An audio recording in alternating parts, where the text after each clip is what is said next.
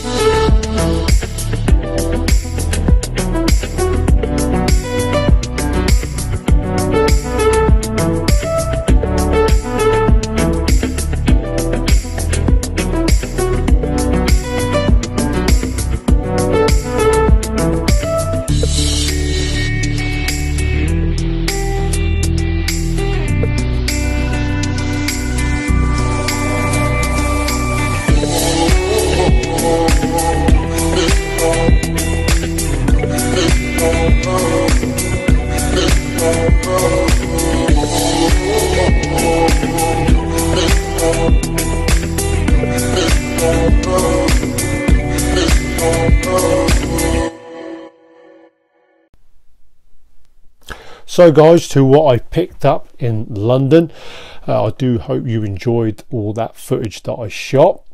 And not only did I go to the London Fopp store, Foyles Bookshop, and Forbidden Planet, I did manage to visit two CEX shops, which I couldn't shoot any uh, footage inside, but did pick up four titles there. So we'll show the uh, CEX pickups as well as the uh, Fopp store pickups as well as a book. First one being some Like It Hot comedy classic uh, made in the 1950s, the late 1950s from uh, legendary comedy uh, director Billy Wilder. My favourite Marilyn Monroe movie, Some Like It Hot. Uh, you also get Tony Curtis and Jack Lemmon in this one. Childhood memories in watching this comedy classic. Uh, probably my favourite Marilyn Monroe movie, along with uh, The Seven Year Itch, would probably be my second favourite. But almost did pick this one up for £10 in the Fopp store, but managed to pick this one up. Uh, second hand for four pounds in uh, one of the CX shops. Also, with another comedy classic, uh, Mrs. Doubtfire, missing from my collection with Robin Williams and Sally Field. Great family uh, comedy movie, this one.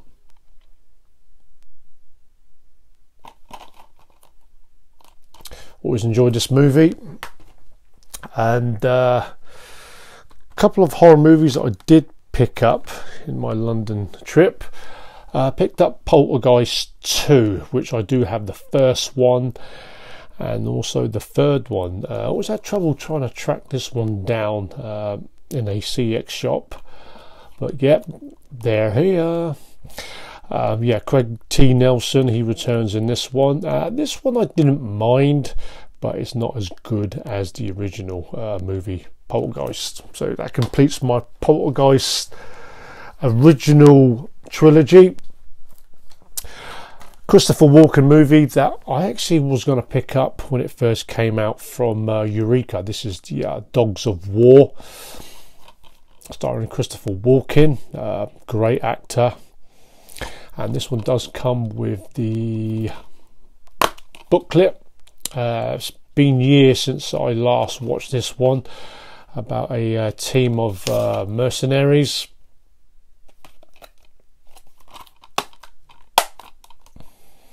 think I probably have most of the uh, Christopher Walken movies from his career that I am a fan of.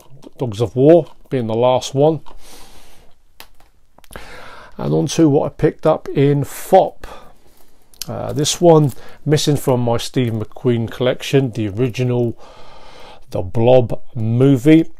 Actually, Dan Physical Media for Life, he actually bought this one for us in exchange of an extra copy of The Walking Dead Season 9.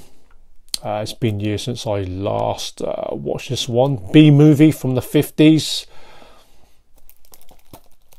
But I do prefer the remake, which they made in the 80s. But yeah, a missing movie from my Steve McQueen collection, The Blob. Was going to this one up a few months back.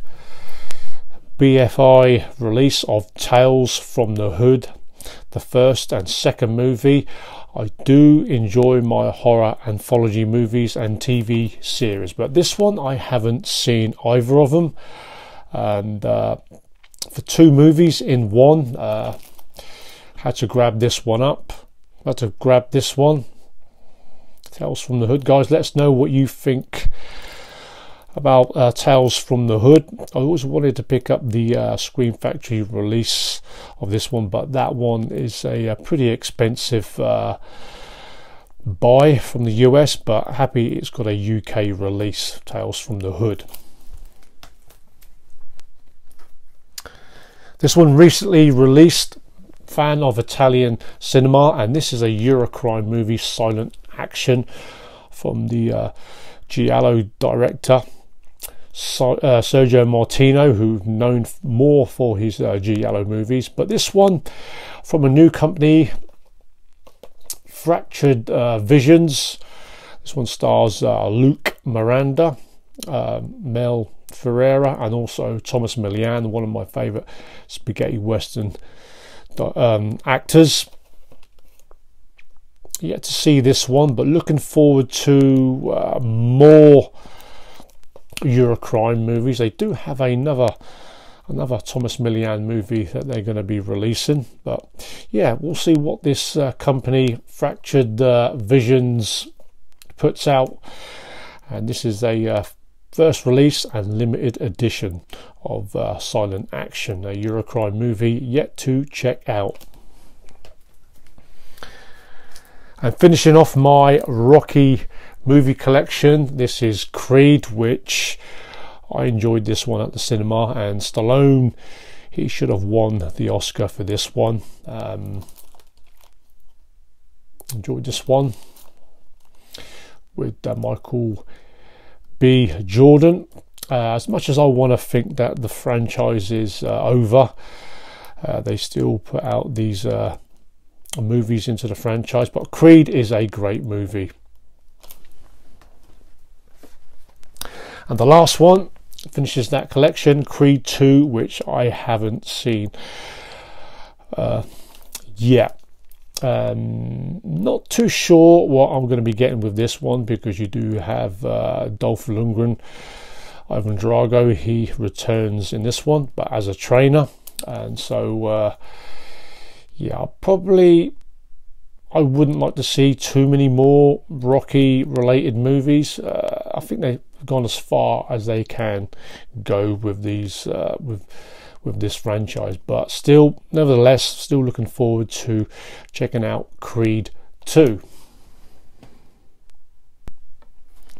And the next item is a book that I picked up in Forbidden Planet. Big fan of the original Batman TV series from the 60s, and uh, what a bargain for this book uh, 4.99. Batman, a celebration of the classic TV series. I probably might do a separate video on this uh, book.